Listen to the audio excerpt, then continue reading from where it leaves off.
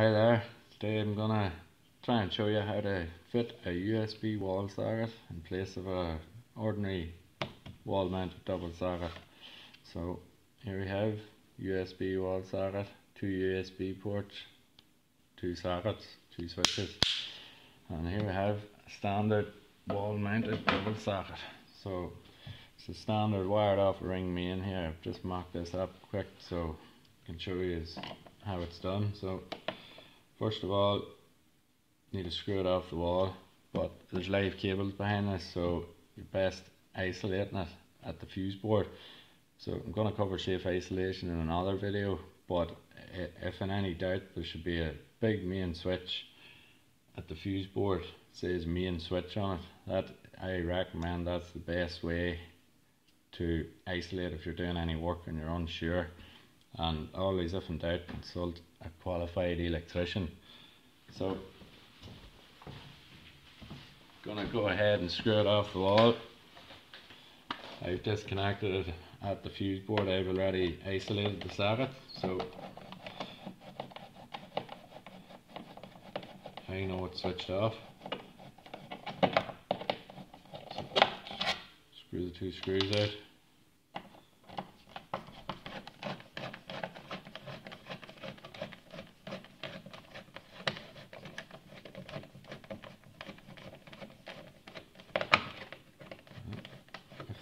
keep the two screws, you might need them. Fit the next socket. And that's it off the wall. So even though I know it's safe, we're gonna check my voltage tester. As you can see, I'm gonna check live to neutral, live to earth, and neutral to earth. All showing up no volts. So already have this. Put that to one side so here we've got got the earth cable got the blue cable which is a neutral and we've got the brown which is a light. Oh some older installations the brown the, the red will be the live black will be the neutral and green and yellow is all these earth.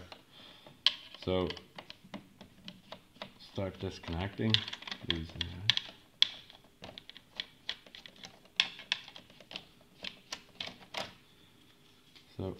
there's the back of the original socket as you can see you have N for neutral, L for live and then you have two earth terminals and as you can see these two earth terminals are joined by a metal stand so you can put the earth in either, you can put one there and one there. So now look at the new USB socket. There we go and as you can see it is the wrong way around. We've got the neutral at the right hand side now and the live at the left and you still get your two earth terminals. So as it sits the old one was like that. Now we have to swap the wires around so open the screws. I always only open one terminal. I put the for the earth I mean. Usually just put the two earth cables into one terminal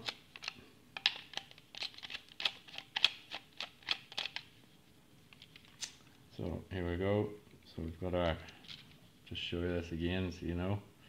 Got our neutral which is our blue in this case blue or an older installation black AL you can see it there which is going to be our live which in this case is brown brown cable older installations red and then we've got our two earth terminals so I'm gonna go ahead and swap the wires live and neutral wires around start with the neutral wire. Put them in there should be no copper showing. Next to no copper showing. It's the best way to do it. Might have to trim copper which was stripped off originally could have been longer. You might have to trim it off with a pair of pliers or a pair of snips. We've got our brown into our L live. And we've got our two earth cables.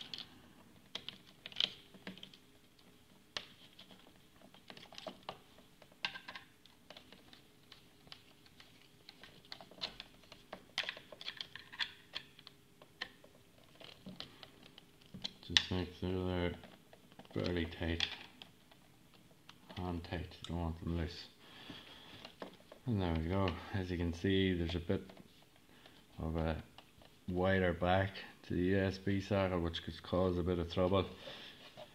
This is a 32 mil box. Sometimes you can have 25 in the wall, but normally they would be set back a wee bit, and you might have tiles, things like that. So you might have a bit more depth, but you need to get your cables in nice and tidy behind it so you don't cause a problem. If they're too tight you can cause a fault and start slipping out.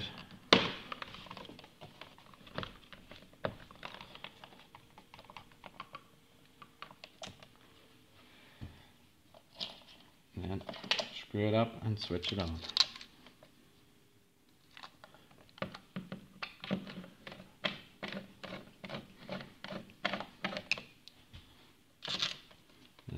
You 32 mils back box. Struggling to take them. The wires haven't get in the top of them and alright.